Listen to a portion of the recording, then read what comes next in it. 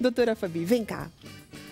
Por favor, doutora, fique aqui do meu ladinho, porque agora é a hora da gente falar a respeito dos seus olhos. Você tá bem? Tudo ótimo, Lu. Muito bom te receber. Você sempre tá aqui, né? Prazer é nosso. Pterígio, você já ouviu falar a respeito disso? Pterígio. O que é pterígio, doutora Fabiane? Pterígio é aquela carninha que cresce em cima da córnea. O que, que é a córnea? É aquela tampinha transparente que a gente tem em cima do colorido do olho.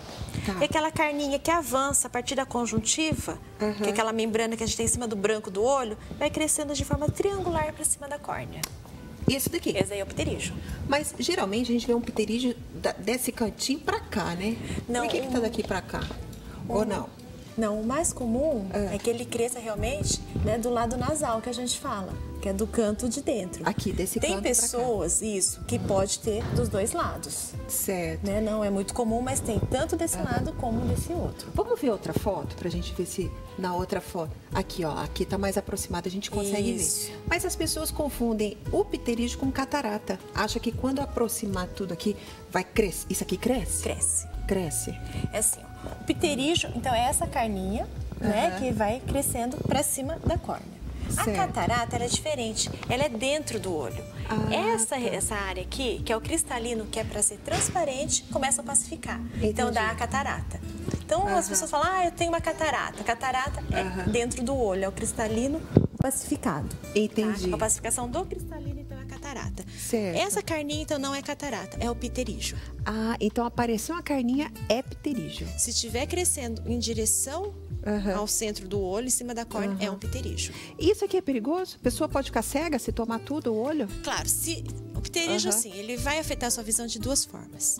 A primeira, ó, por estar em cima da córnea, ele vai deformar, vai tracionar essa córnea, então vai gerar o quê? O astigmatismo. O que é astigmatismo? É Olha. grau. É Tá? grau, tá. E a outra forma é o quê? O crescimento para cima da pupila. A partir do momento que ela cobre a pupila, que é a bolinha que a gente tem no meio do olho, vai te atrapalhar a enxergar. Que a gente enxerga por pela aqui, pupila, né? a luz passa pela pupila. Entendi. Então, se o pterígio cobre a pupila, você deixa de enxergar. Mas ninguém deixa, né, um pterígio Entendi. avançar esse ponto, né? Coisa raríssima de se Tá. ver nos dias de hoje. Vamos ver outra foto aí, vamos ver. No caso, aqui é antes e aqui é depois. A pessoa fez uma cirurgia. Uma cirurgia. A cirurgia vale a pena fazer? Quem tem o pterígio? Ó, o pterígio, a partir assim, quando ele tá sintomático. O que é sintomático? Olho vermelho, sensação de corpo estranho, é, sempre lacrimejando. E lógico, é questão da estética, né? É. Quando realmente dá sintoma, aí sim vale a pena operar, Aham. né? Então, assim, a cirurgia é, É uma tranquilo? cirurgia.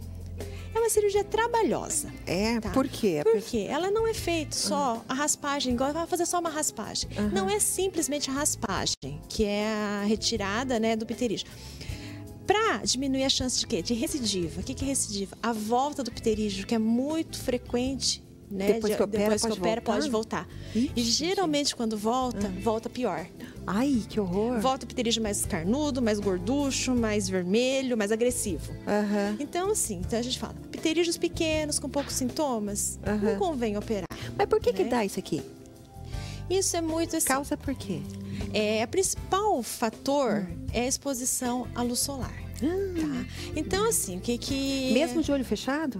Tô de olho fechado, o sol tá batendo. Mas você não vai ficar de olho fechado, né? Entendi. Tanto que assim, o que, que eles falam? Que Aham. as pessoas que têm maior predisposição são as que moram nos trópicos, ou seja, maior incidência de radiação ultravioleta. Aham. E assim, trabalhadores rurais, pescadores, né, que acabam, né, sofrendo a, a incidência da mais radiação no sol, mais né? no sol, né? Entendi. E lógico, a predisposição individual, né? Aham. Muitos de nós passam a vida inteira trabalhando dentro do escritório, em regiões, né, com pouco sol e acaba desenvolvendo, né? Então é mais a predisposição de cada um. Então, se a pessoa tem um pterígio, ela nasceu com aquela predisposição de ter o pterígio. Você tem já realmente uma certa predisposição e mais os fatores externos, né? Entendi. Principalmente a exposição à luz solar. Qual que é o teu conselho? Se a pessoa está com pterígio aqui, opera, não opera, já que se operar pode ser que ele volte mais carnudo? Num primeiro momento, Uhum. lubrificante, uso de vasos constritores, né? O tratamento assim para minimizar os sintomas. Certo. Uso de óculos escuro, boné, tudo que você possa tomar de medidas para quê? Para proteção, tá? Tá. Numa fase que realmente está sintomático, Uhum. né? paciente está sempre o olho vermelho, Uhum. a sensação, né, fotofobia, o que, que é? Luz incomoda, claridade Uhum. incomoda, é, sempre lacrimejando e pela estética também.